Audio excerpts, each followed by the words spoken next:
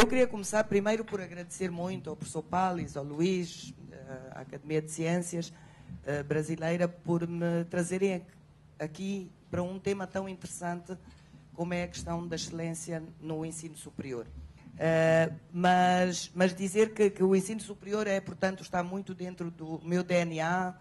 Uh, sou parte da maior e da mais antiga universidade moçambicana e, e, portanto, poder refletir um pouco sobre esta questão de excelência em ensino superior é realmente um prazer e, portanto, muito obrigada. E obrigada também porque eu penso que este encontro, apesar de eu não, não ter estado aqui, aqui ontem, estava num outro encontro em Campinas, uh, dizer que o primeiro dia para mim foi muito elucidativo. Primeiro, penso que houve palavras muito corajosas do senhor Ministro da Ciência e Tecnologia brasileiro, o que é muito bom sinal, e ainda por cima alguém que vem do sistema do ensino superior. Falar de ciência, tecnologia e inovação sem falar de ensino superior é perder os principais drivers do sistema nacional. Uh, e depois também a palestra do, do Bruce, que, que, me foi, tocou em muitos aspectos e que de alguma maneira também fez a minha apresentação um pouco mais fácil. Uh, e agora também com o colega do Banco Mundial, também fiquei muito contente, porque eu resolvi fugir um pouco à, apresentação típica organizacional. Então, se calhar, eu não vou falar hoje como Unesco, se me permitem, eu vou pôr as minhas inquietações como alguém de ciência, como alguém que, que trabalha com universidades e trabalha numa universidade uh, e que tem algumas dúvidas uh, profundas de, de, o que é, que é realmente excelência de ensino superior hoje. Uh, e por isso é que eu pus aqui e digo excelência em higher education, mas num contexto de mudanças globais. Nós estamos a, a passar momentos de mudanças muito grandes no mundo. E não há país nenhum, não há sociedade nenhuma, não há pessoa nenhuma que não tenha que olhar para essas mudanças profundamente. Numa perspectiva pessoal, numa perspectiva de comunidade, numa perspectiva de nação e numa perspectiva do mundo. E, e se calhar, eh, a primeira pergunta que eu quero pôr à audiência, e, e vou quebrar o protocolo, eu vou começar eu a fazer perguntas. Alguém me pode dizer que das definições de excelência que o Bruce deu e que foram perfeitas, o que é que se pode acrescentar mais a essa definição se nós pusermos global change como o contexto em que estamos a discutir mudança? Quem é a pessoa corajosa? Eu tenho um monte de coragem porque eu fiz slides. Eu vou-vos dizer o que é que eu acho. Mas só para ver se, se animamos um pouco. Very positive force for change in every country. The competition that occurs because of global change, meaning uh, changes in economy, changes in climate, changes in other things, can be an instigator of intellectual activity. It can cause us to learn about other nations and their higher education systems, and for each of our countries to improve the higher education that we offer to our own citizens as well as to the citizens of the world.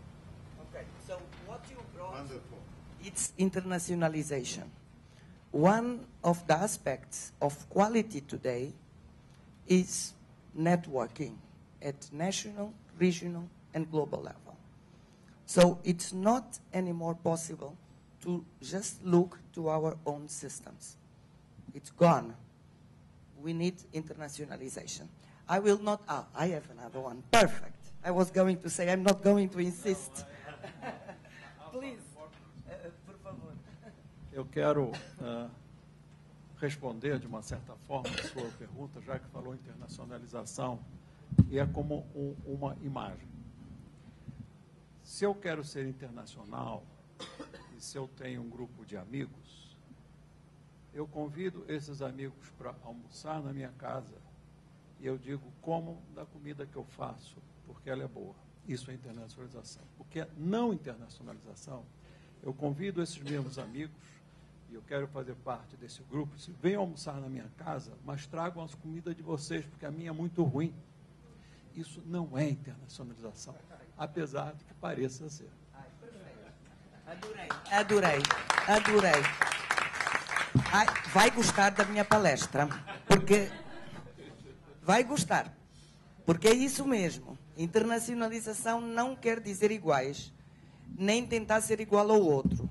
Significa diversidade para garantir que nós temos vários modelos alternativos de desenvolvimento que juntos nos levam ao sítio onde nós todos queremos estar, que é num país, num planeta seguro, eh, estável, uma vida boa e felizes. Então, se nós pensarmos assim, eu tentei dizer, ok, então, e, e vocês já podem ver uma diferença entre o Unesco e, o World Bank. Eles falam de knowledge economy. Nós na Unesco falamos de knowledge society, porque economy é elitista, sempre. Sociedade, todos nós, pode ser elitista ou não. Depende de nós como queremos fazer. Então, é só para dizer que eu não vou falar assim muito de economia. Vou falar de economia, mas sempre numa perspectiva de desenvolvimento social, económico e estabilidade ambiental. Então, dizer que, primeiro, é toda esta discussão que estávamos a começar a ter hoje, e que o nosso colega do banco também falou, eh, a importância de termos uma massa crítica, uma força de trabalho dinâmica, capaz, que se respeita a si próprio para respeitar os outros, porque sabe o que está a fazer e sabe para onde quer ir, eh, e, e capaz de tanto abordar questões nacionais, mas também entender as questões globais. E, portanto, é essa ligação, essa, essa mudança across scale, que é muito importante quando falamos de excelência num contexto de global change. A, a outra coisa é que, mais uma vez, não temos que ser iguais. Então, é muito importante que na Knowledge Society nós digamos o que é que nós temos de melhor e diferente dos outros e todo o nosso sistema educativo, de alguma maneira, reforçar essa diferença positiva. Porque é, é nessa diferença que efetivamente nós estamos contribuindo. Não só para nós vivermos melhor, mas para os outros viverem melhor. Portanto, trazer as forças locais como uma força de mudança global. E, portanto, isso é muito importante numa sociedade de conhecimento. Não vai a reboque. Ele conduz, a sociedade conduz o seu caminho e sabe porque que está seguindo aquele caminho. A questão das, das práticas governamentais, de ter as prioridades certas de desenvolvimento, mas também ser capaz de ter uma análise crítica. Nós discutíamos agora as políticas explícitas e implícitas. E como isso pode parar um bom processo?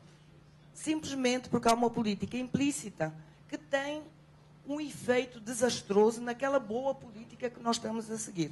E todos nós, nos nossos países, vemos isso todos os dias acontecer. Portanto, como fazer uma análise crítica, não só da política explícita em si, mas olhar para todo um ambiente e toda uma integração de políticas públicas que, no seu total, efetivamente permitem que essas políticas públicas nos levem na direção que nós queremos ir como sociedade. E, claro, os sistemas financeiros que promove, por um lado, a inovação, o empreendedorismo, mas que também tem um cuidado para que esses sistemas permitam uma equidade na distribuição dessa riqueza que é criada. E, portanto, este para mim são os grandes desafios que nós temos em qualquer parte do mundo se queremos construir uma, uma sociedade uh, de conhecimento. E aí, qual é realmente o papel do ensino superior? Se nós pensarmos que esses são os desafios e pensarmos que, o, que os sistemas de ensino superior ou terciários, concordo com a, com a expressão do terciário, uh, é realmente criar essa massa crítica, é realmente criar essa, é contribuir para essa sociedade de conhecimento. Então, claro que a primeira coisa é ter a crítica massa, uma massa crítica para desenvolvimento. Não é só ter critical mass em física, ou em química, ou em matemática. É ter um físico que entende desenvolvimento. É ter um matemático o professor Pallis, que entende muito bem desenvolvimento. É, é, é ter esta. É, portanto, é massa crítica. Não é só especialização. Um pouco a diferença da internacionalização. Não é só saber muito bem física. É saber como a física pode contribuir para o desenvolvimento da sociedade. Nós treinamos os professores, os políticos, os presidentes das empresas, os inovadores, os chefes das associações civis. Nós temos uma responsabilidade tremenda. E, portanto, não podemos esquecer isso. O ensino superior, claro que é sempre a, a fonte do conhecimento, tecnologia, etc., é o centro dos sistemas nacionais de inovação, no sentido de que é lá que deveria estar-se a criar essa, essa necessidade de mudar. São as pontes para o conhecimento internacional, para essa cooperação internacional que é preciso haver. É muito fácil um professor universitário ter o seu colega no outro lado do mundo, faz 24 horas de viagem para ir falar numa conferência, faz mais 24 horas de viagem e no dia seguinte está a mandar um e-mail a dizer: Olha, num avião eu pensei nisto, nisto, nisto e podemos fazer aquilo. É muito natural para o ensino superior fazer as pontes e tem que ser aproveitado como o sistema que faz as pontes para a cooperação internacional. E outra coisa que se fala muito pouco, mas que já se falou muito, é que as universidades são realmente os condutores, são os disparadores, como dizem os, os latino-americanos, da mudança social. Se as universidades se ausentam dessa tarefa enorme de serem os provocadores da mudança social, então a excelência num contexto de global change não vai acontecer.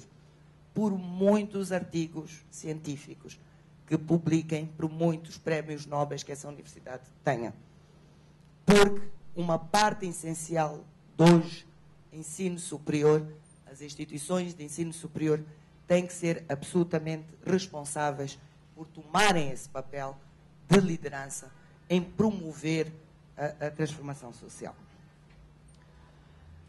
E, e, realmente a pergunta que se calhar todos queremos fazer hoje é até que ponto, e estamos a falar muito do caso do Brasil, até que ponto a nossa investigação está a contribuir para os processos de decisão a nível mais alto, a nível estadual, a nível local. Portanto, mais uma vez, se queremos ser agentes de transformação, então a nossa investigação tem que influenciar os processos de política e de tomada de decisão. Mas isso significa que comunicar os nossos resultados tem que ser feito de uma forma muito forte e de várias maneiras. O público é diferente. E, portanto, temos que saber comunicar esses resultados de forma diferente. E temos que perceber e garantir que há legitimidade. É a universidade que faz isso. São os professores, são os pensadores que dizem esta política global, qual é a legitimidade que tem para o Brasil?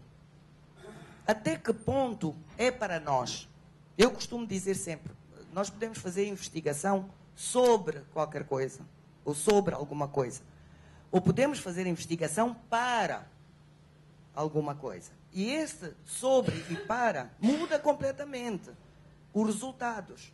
Porque quando é para, nós temos uma pergunta que é para além da pergunta científica, é para além da questão científica.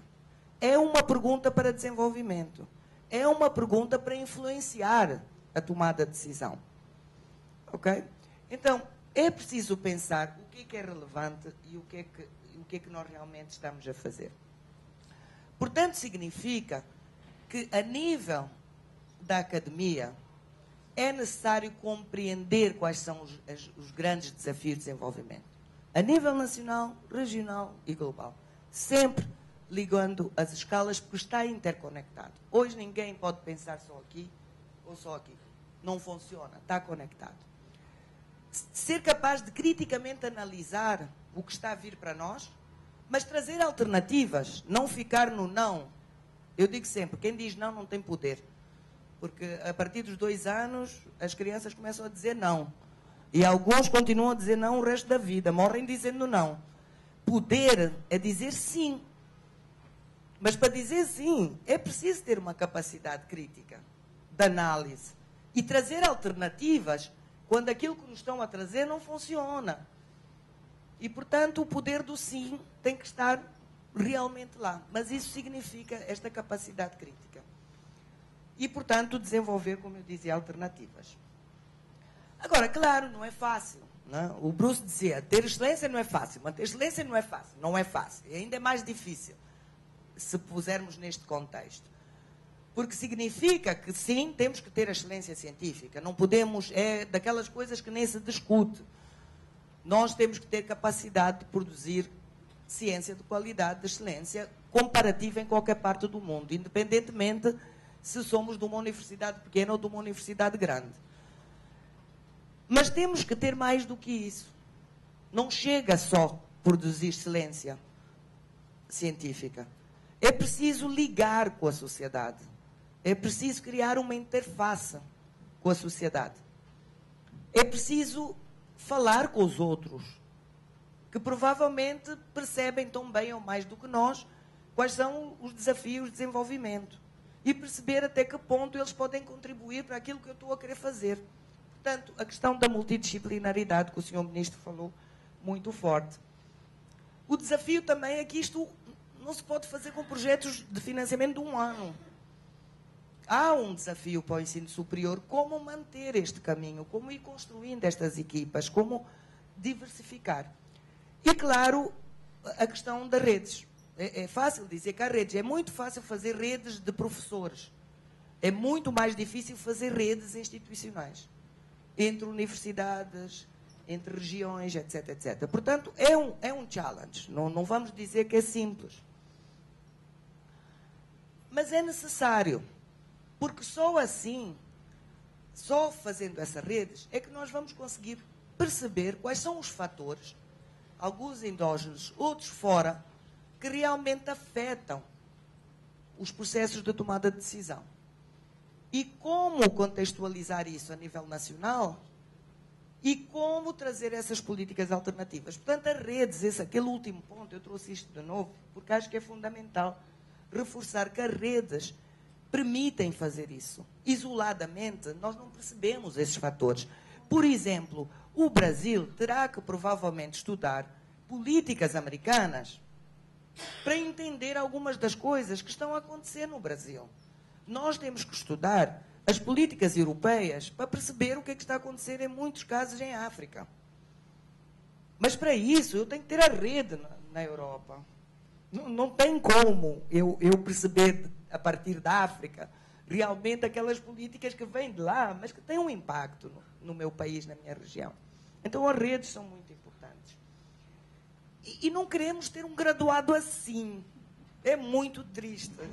Mas temos, temos, não? Uh, então, eu acho que o que nós queremos é graduados que são profissionalmente qualificados nos seus, nos seus campos, mas e que percebem aonde estão e como atuar para mudar essa realidade e para influenciar a parte global também, que de alguma maneira condiciona ou não ou cria oportunidades para a mudança dessa realidade local.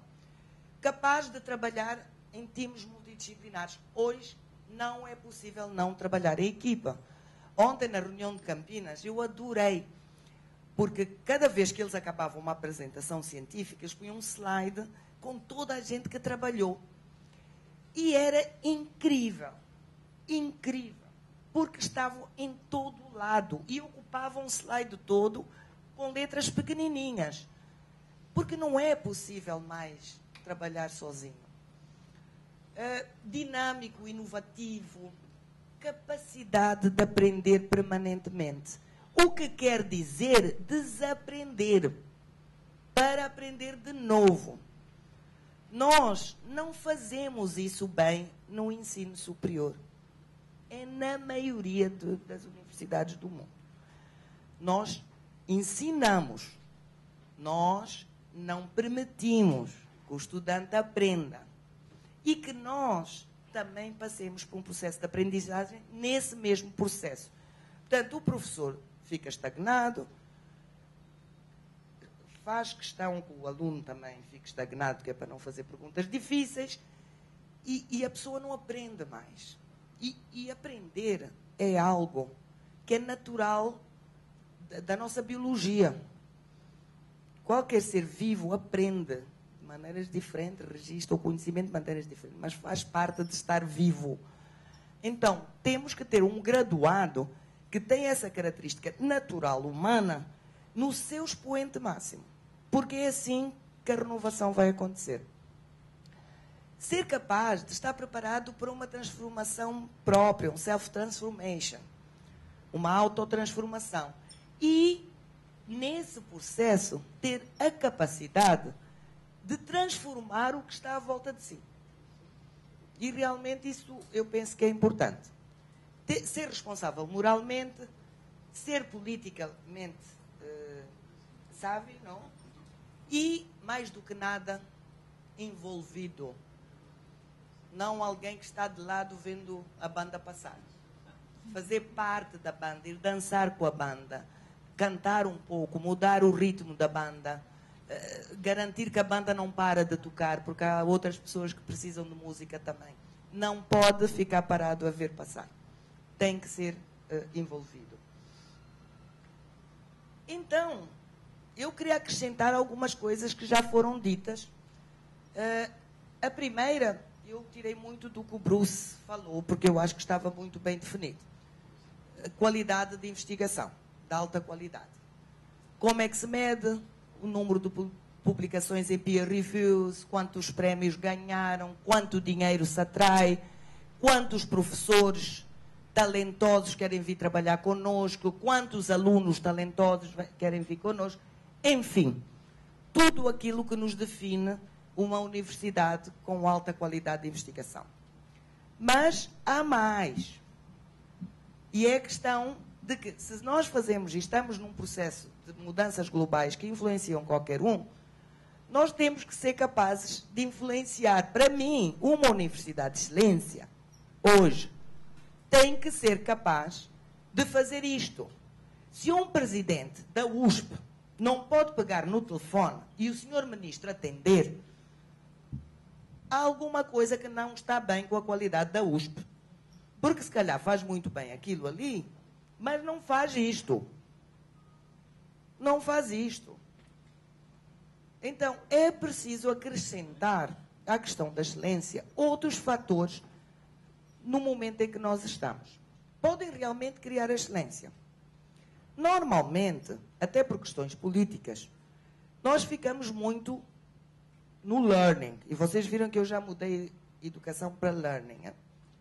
Nós ficamos muito na parte de graduar. Normalmente, a maioria dos nossos focos é na graduação. Eu estou a argumentar que nós primeiro temos que concentrar na investigação, experimentar, pôr essa investigação ao serviço da sociedade perceber que outras perguntas vêm, levar isso para o ambiente de aprendizagem, com os estudantes aprender, voltar a investigar, voltar a experimentar na sociedade, fazer a transformação, trazer para o learning. Portanto, muda completamente o nosso processo. E, e isso, para mim, é uma das coisas que eu acho que nós deveríamos fazer. Uh, e, portanto, é um pouco como trabalhar, portanto, esta questão do, do, do impacto na, da, da, da, pesquisa, fazer da pesquisa uma base de intervenção, esta interface que alimenta a agenda de pesquisa, mas que traz o conhecimento para que essa transformação social ocorra, e depois estas duas agendas juntas serem capazes de, de, de alimentar esse espaço de aprendizagem contínua que é necessário haver.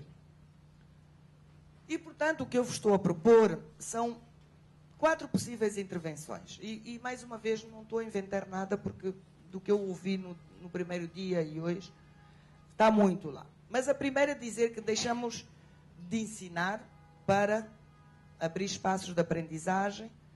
A questão de metacompetências como parte dos currículos base. Toda uma, uma maneira diferente de olhar o currículo e as questões de governação e leadership.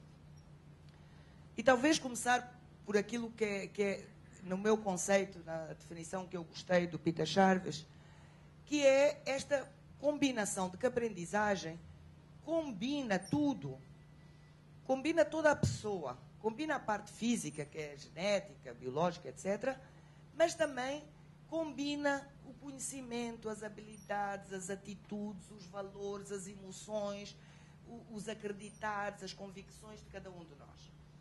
E, e realmente é essa, é essa capacidade de mexer holisticamente naquilo que nós somos que permite que a capacidade de aprendizagem esteja no seu máximo. Ok? Portanto, como, o que é que é preciso fazer para que esse ambiente esteja lá? Então, eu acho que uma das coisas que é fundamental e que nós não fazemos é realmente criar um espaço para que todos nós compreendamos melhor e todos os dias de uma forma dinâmica a interconectividade de vários problemas que nós enfrentamos. É muito normal perguntar a um estudante do terceiro ano que não esteja em, em, em ciências políticas ou ciências sociais, perguntar quais são as raízes da pobreza e não ser capaz de pensar. Mas se nós perguntarmos como é que se cresce uma árvore, vai saber perfeitamente bem. Mas essa ligação entre saber crescer uma árvore e, e, e pobreza, a ligação não está lá. Portanto, eu acho que esta é uma das primeiras coisas em que as universidades têm que investir nesta agenda de desenvolvimento, de uma forma permanente. E, e, e, para isso é preciso reorientar os objetivos dos nossos sistemas educativos, de forma que cada pessoa seja capaz de tomar as decisões relevantes que possam realmente abordar as questões interconectadas que falei acima. E o que é interessante é que as instituições de ensino superior, elas são, por natureza, learning institutions, são instituições de aprendizagem. Professor, aluno, técnico, visitante, seja quem for, passa numa universidade, aprende sempre qualquer coisa, mesmo que seja coisa, se calhar, que não devia nada aprender. Mas sempre aprende. Então, vamos pegar nessa natureza, que é intrínseca, e vamos fazer um esforço para que essa natureza fique evidente. E isso implica realmente garantir que há espaços de intervenção, que há contactos, eh, que, que cada um vê a sua tarefa como uma tarefa de aprendizagem e não uma tarefa de ensino né? ou de aprender. É sempre aprendizagem, o learning, que, é diferente de education and de teaching, eh, realmente eh, ser capaz de haver essa interação. E aí, eu penso que trazer, e tem que tenho que agradecer ao, ao, ao, meu marido que fez uma tese sobre isso, sobre Transformative Learning, e aprendi imenso com ele sobre isto. E eu acho que realmente há metacompetências que promovem transformação. Autotransformação e transformação social. E para nós sermos realmente uh, esse, esse, esse, esses impulsionadores da transformação social, nós temos que ter metas competências. Nós temos que ser capazes de observar de uma forma profunda o que está a acontecer ao nosso redor e observarmos a nós mesmos nesse processo. Capaz de refletir profundamente sobre as coisas, de ouvir, de ouvir os outros e de nos ouvirmos a nós próprios, porque algumas vezes também não nos ouvimos a nós. Estamos, o nosso inconsciente diz: não faz, não faz, não faz. E nós fazemos. Então, essa capacidade também de se escutar. A questão da linguagem, por exemplo, ontem foi muito interessante, porque eram cristalógrafos que vieram de várias partes. Uns vinham da biologia, outros vinham da, da química, outros da física, etc. E foi muito interessante uma jovem física que ela disse: Olha, eu só comecei a trabalhar bem com os biólogos quando eu percebi que eles falavam diferente. Enquanto eu não percebi que eles falavam diferente, eu não percebia o que eles queriam, mas sabia que eu podia apoiá-los, porque eu sou muito boa cristalógrafa. Mas eu não entendia. Até que me deu um clique e eu disse: Ah, eles falam diferente. Então deixa lá ver como é que eles falam. Então o que ela diz, ela nunca vai conseguir falar como bióloga. Mas ela entende os biólogos agora. E os biólogos entendem a ela. Então agora fazem coisas maravilhosas. Language é muito importante. E é verdade também quando falamos com policymakers. É verdade quando falamos com sociedade. Quando falamos entre cientistas, temos uma linguagem. Quando falamos com policymakers, a linguagem tem que ser diferente. Ou pelo menos temos que entender a linguagem deles para poder responder adequadamente. A questão das emoções, de, de acreditar, a questão de navegar em várias escalas e sermos capazes de nos posicionar daqui para ali e voltar para trás e olhar para trás e ver o que estamos a fazer. Isto é uma metacompetência fundamental. Incertezas. Nós vivemos hoje num mundo incerto. Os nossos sistemas educativos, desde pequeninos, Nós somos educados a viver na certeza. A certeza de tudo é assim. Eu sempre fiz assim, a minha avó já fazia assim.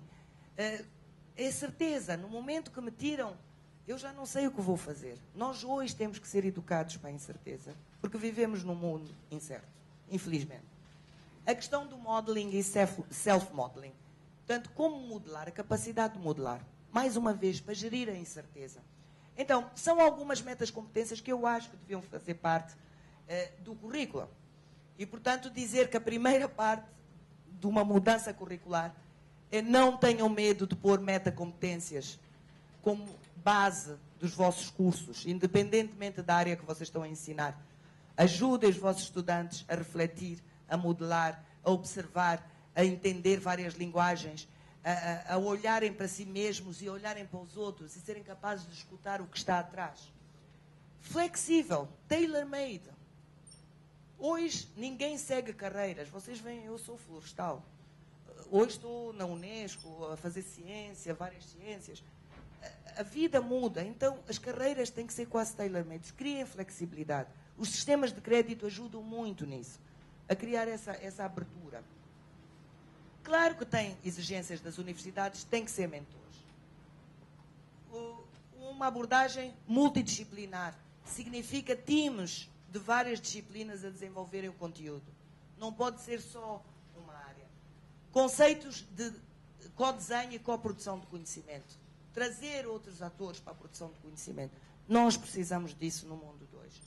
E claro que as questões, uh, inter, uh, habilidades uh, de comunicação. Em termos de governação e leadership, autonomia e accountability não podem vir separadas. Têm que estar juntas. Há direitos, há responsabilidades. Há espaços. As universidades têm uma responsabilidade social, sejam públicas, sejam privadas. Tem que haver accountability. Envolver o staff e os estudantes nas estruturas e abrir as estruturas para os, outros autores. Eu penso que a, experiência que o Bruce falou era muito claro que a liderança daquelas duas universidades tinha uma estrutura de governação extremamente aberta. E isso é muito importante quando falamos de excelência em ensino superior. E, e mesmo neste contexto é fundamental. E liderança. Dizer que no final do dia começa e acaba em liderança, para mim. Liderança é fundamental. Tem que ser uma liderança criativa, inovadora, que perceba a transdisciplinaridade, que seja capaz de antecipar o que vai acontecer. Mais uma vez, os exemplos que o Bruce deu eram esta liderança. Ser uma pessoa que é, que é modesta, que é humilde, que tem um sentido de servir os outros no core. E vocês lembram-se daquele exemplo da Califórnia que mudou por uma carta que o reitor escreveu à sociedade da Califórnia. As universidades podem mudar sim, as sociedades. E tem um fator importante. Mas a liderança é realmente fundamental para que isso aconteça. Eu acho que mais do que instituições fortes, nós temos que ter sistemas, e penso que tu falaste bastante bem sobre isso, sobre a questão do terciário education. Tem que haver diversidade. Os centros de excelência são fundamentais, mas não chegam. Tem que haver networks de excelência. Os centros são dinamizadores e realmente como garantir que a investigação de excelência realmente se torna em ações. Isto são questões muito importantes. Portanto, é preciso networks em vários níveis. Eu nem vou entrar no detalhe disso, mas é fundamental. E só concentrar-me um pouco. Centros de excelências são importantes. Têm que estar lá.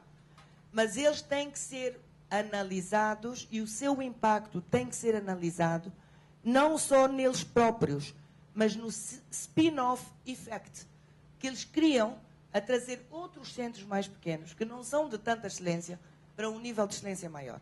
E por isso é que nós na Unesco falamos dos networks de excelência. Que os centros de excelência têm uma obrigação de fazer o peer review, de ser os catalistas, de ser os que criam capacidade nos outros centros mais pequenos. E realmente é um network como tal que, que funciona. Uh, eu pus várias uh, ações prioritárias, mas eu não me vou uh, parar nisso. depois da apresentação pode ser apresentada. É só dizer que muito obrigada e, e pronto.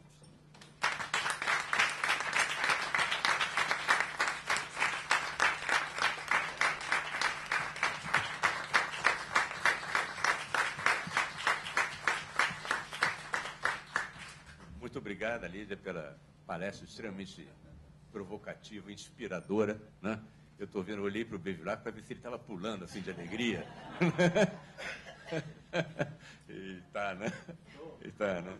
Então, e essas ideias, não todas, porque eu acho que você explicitou muitas delas, mas que não estavam ainda lá, mas que estavam de outra maneira, é, está, é, algumas, várias delas estão no documento que a, a Academia Brasileira de Ciências produziu há uma década atrás, intitulado Subsídios para a Reforma da Educação Superior. Né? É, eu vou contar uma história para vocês, que talvez não seja muito politicamente correta, eu vou mudar um pouquinho as palavras, porque é, esse ambiente é mais formal, mas isso é uma história verídica que aconteceu no Brasil. Aqui no Brasil, os motoristas de caminhão escrevem frases na, no para-choque, né?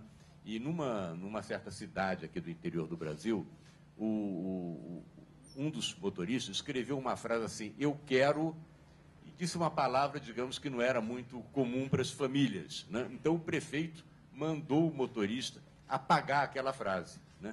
E ele, no lugar daquela frase, escreveu outra dizendo: continuo querendo.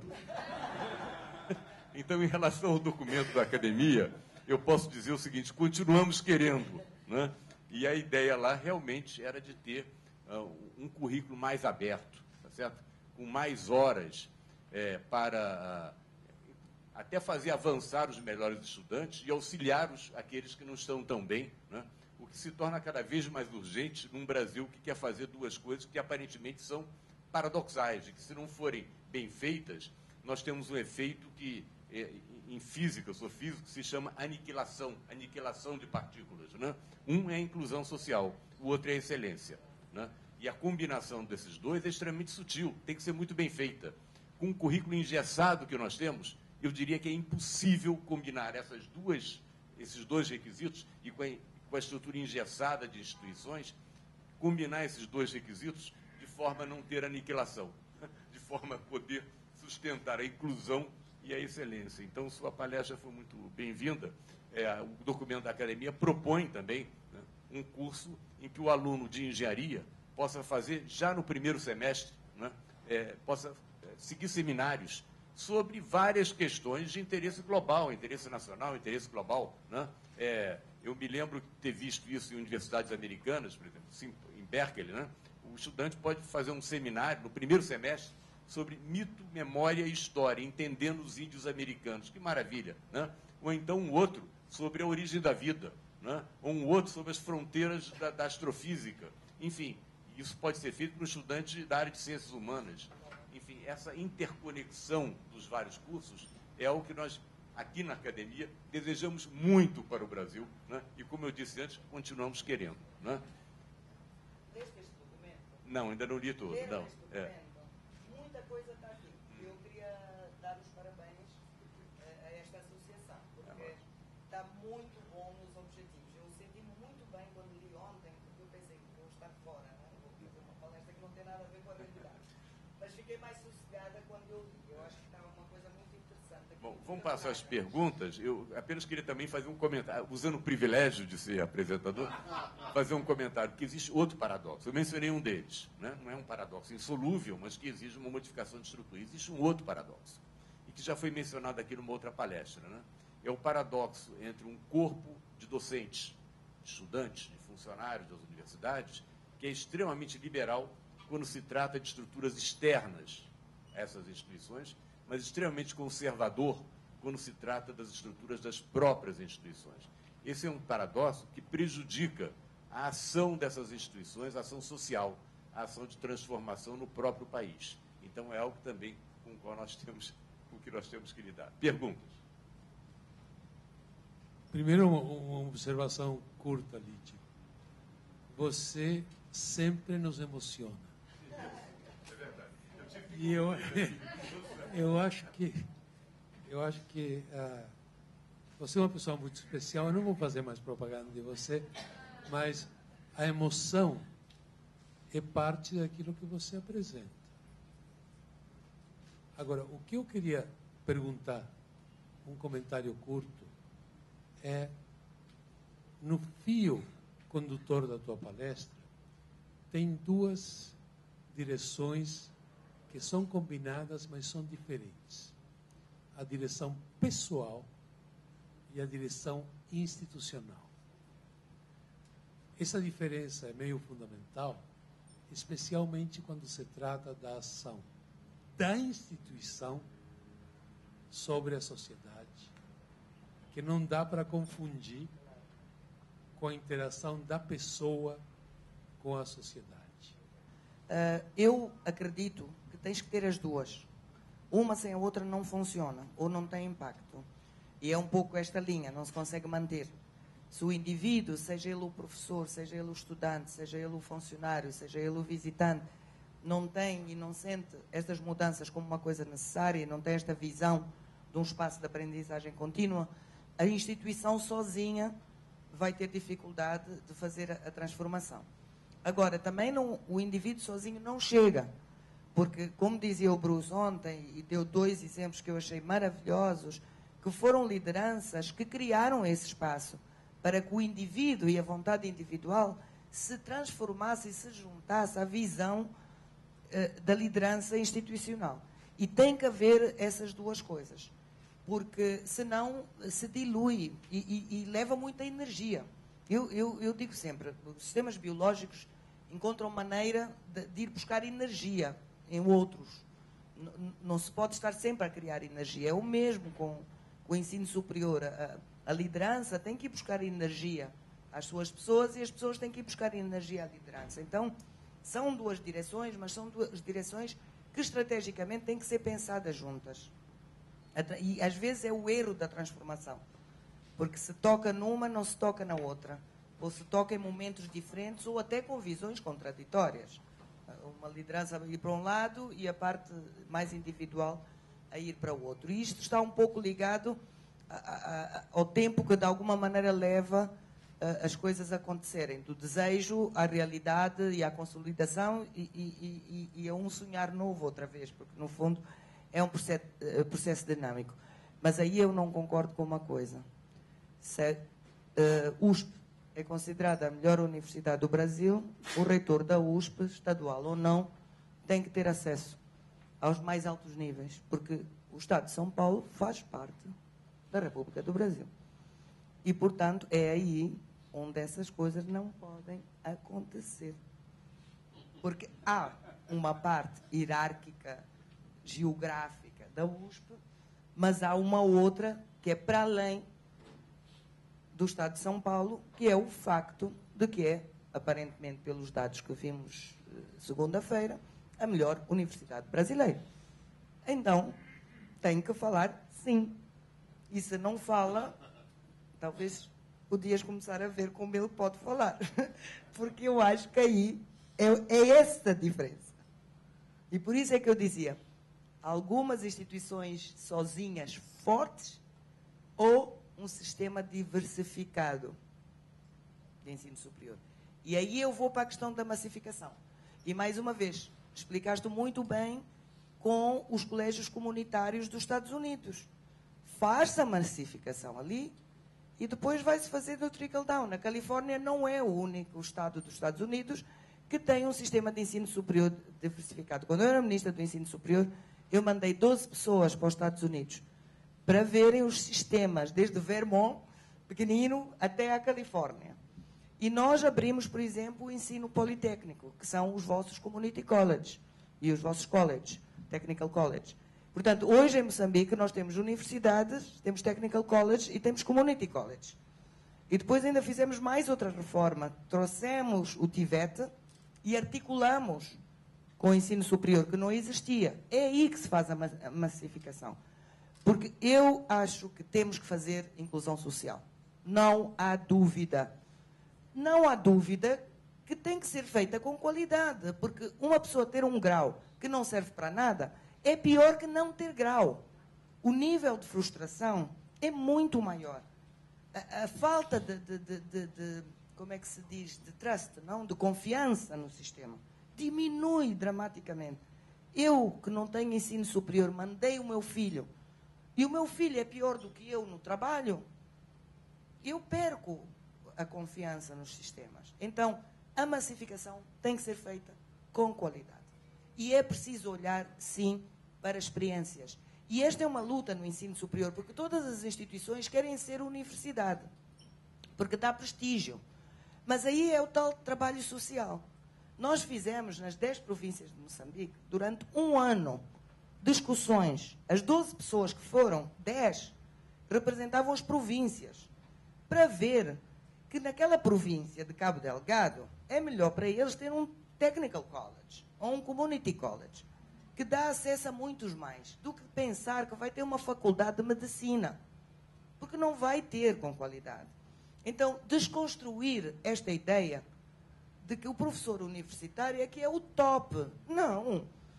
Há professores de community college que mudaram sociedades mais uma vez, volta o indivíduo, volta a liderança, volta a qualidade, onde ela está. Portanto, a questão da massificação, eu diria que eu faria uh, neste, desta forma, diversificando bastante o, o coisa. A questão da incerteza e da certeza, e por isso é que eu pus ali main actions. Os professores têm que aprender. O problema é que os nossos professores pararam de aprender também. Não são só os estudantes que não sabem aprender. Os professores também, muitas vezes, não, não estou a a dizer que são todos, felizmente, uma grande maioria aprende. Mas há muitos que não aprendem e que ficam realmente enraizados. Em... Então, a universidade, a liderança universitária tem que challenge. Por isso é que eu dizia, muda o papel. O, o professor é um facilitador, é, é um desafiador da aprendizagem. Mas como não sabes isto? Como ainda não leste sobre isto? Ah, então tens que ler. Amanhã vamos discutir, então. Não é dizer, ah, não leste, ah, então é assim, assim, assim. Não, não é assim, assim, assim, é assim, assim para mim, que li. Mas o estudante tem que ler. E o estudante vai me fazer a mesma coisa, vai dizer, mas como professora não leu, aí a professora vai ler vai aprender nesse processo. Não? E, e acho que essa parte também falha um pouco, de, e por isso é que é importante que o professor comece a fazer pesquisa. Tem que, porque na pesquisa aprende-se. Nenhum investigador eh, pode dizer que hoje eu não aprendi nada. E por isso é que eu mudei o enfoque. Eu disse, começa por investigação. Depois faz outreach. E depois cria o espaço para todos aprendermos. Porque nestes dois processos ele aprende. Eh, os cubanos têm um, um sistema que eles chamam de investigação, que eles chamam ciclo cerrado, que eu amo. Porque é assim, o investigador começa, descobre uma coisa interessante passa para o desenvolvimento do produto. Finalmente tem um produto, vai para o marketing, vai ver como é que o produto funciona. E quando o produto já está realmente lançado, ele volta para a investigação. Mas ele, quando volta para a investigação, ele volta com milhentas ideias, porque neste processo ele está a acumular ideias. Agora, se eu faço a investigação, depois passo para alguém, era aquilo que eu te dizia hoje, com a idade as ideias desaparecem. A pessoa fica ali parada naquele laboratório e não tem mais ideias. Mas se sai daquele laboratório para fazer produção e tem que trabalhar com as empresas produtoras e depois tem que trabalhar com marketing e ver o que é que se passa, etc., quando ele volta ao laboratório, ele é uma pessoa renovada. Então, eu diria que. Posso fazer uma pequena observação com relação até ao seu comentário anterior, com relação a, aos diversos graus de ensino superior, que eu concordo 100%. A gente já conversou sobre isso várias vezes, trouxe né, na primeira palestra, 100%. Agora, nós temos uma dificuldade adicional no Brasil, não é? e isso eu acho que é extremamente importante, né? é que aqui premia-se diploma e não competência. E essa premiação é monetária. Nós temos técnicos, isso aconteceu no passado na, na COP, na, na, pós-graduação de engenharia, né? eram excelentes técnicos, chegavam a um teto de salário eram melhor que professores, às vezes, na sua competência. À noite fazem um curso de engenharia, ganham um diploma de engenharia, que não é muito bem de boa categoria, e deixam de ser técnicos para ser pesquisador, que eles não sabem fazer. Então, ah, não se pode simplesmente não é, desconectar essas, essas, esses problemas. Tem que acabar com esse nível salarial por causa de diploma. É competência que dá. Eu estive uma vez em Georgetown, anos atrás, conversando com o Provost, e ele me disse: bom, eh, o maior salário desta universidade é do reitor. O segundo maior de um técnico de ótica, porque se ele sair, o departamento de física fecha. Era o segundo salário da. Então, é isso, é, é que, isso é que faz os Estados Unidos um país forte. Sim, por isso é que eu dizia que, que as políticas têm que estar. Eu concordo, Moçambique tem a mesma coisa. Eu perdi três técnicos de laboratório. O meu laboratório é de anatomia de madeira. E, e, e tem que se amar madeira, porque se fica no microscópio o tempo inteiro a ver. Não é qualquer pessoa que vai para aquele laboratório.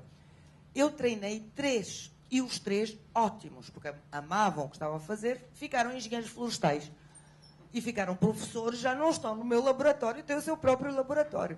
Aí eu já dizia, agora não, não dá. Eu treino professores para, serem, para tomarem conta do laboratório. Acabaram técnicos, não ficam aqui.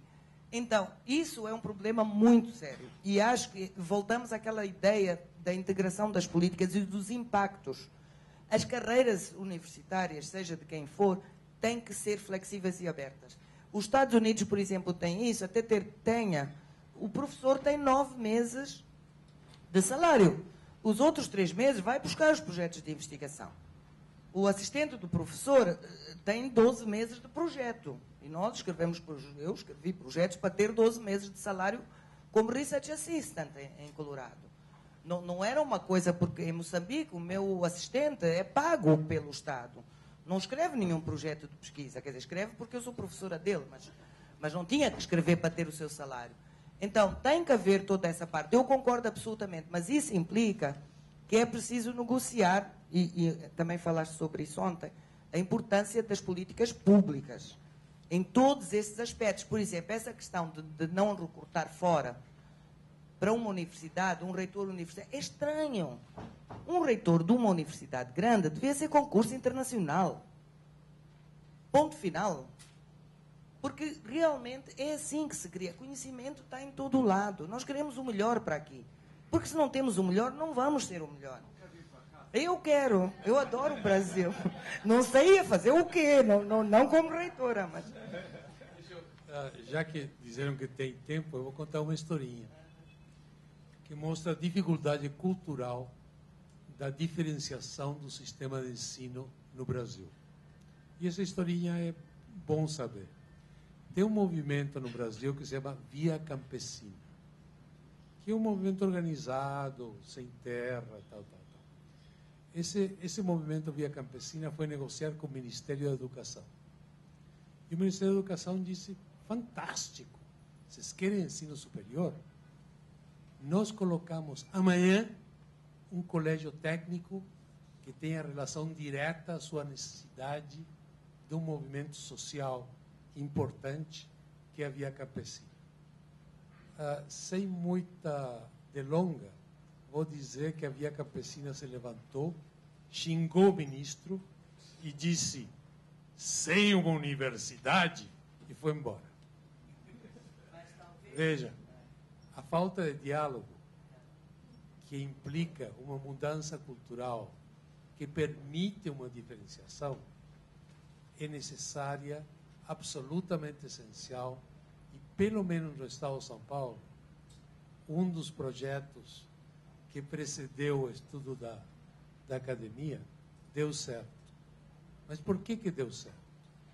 Porque os prefeitos se deram conta que se eles tinham uma faculdade de tecnologia no seu município, a economia da região ganhava.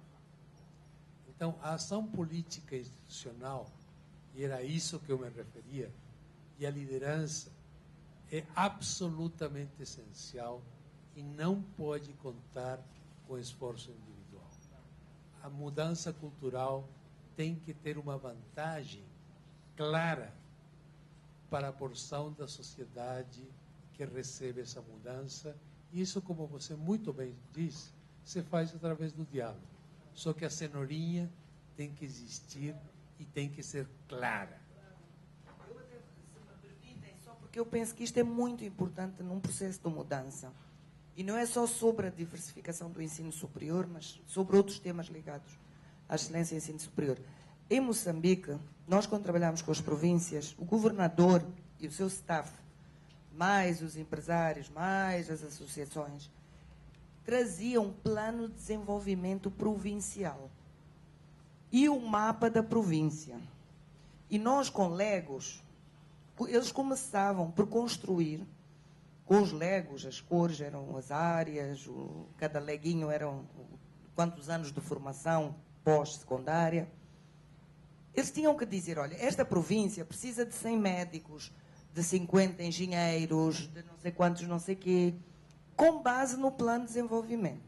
Depois a reflexão seguinte era, esses cursos têm que estar aqui ou podem estar noutro lugar. E eles ali decidiam. Por exemplo, todas as províncias criam os institutos de formação de professores, porque eles estavam em grande expansão educativa.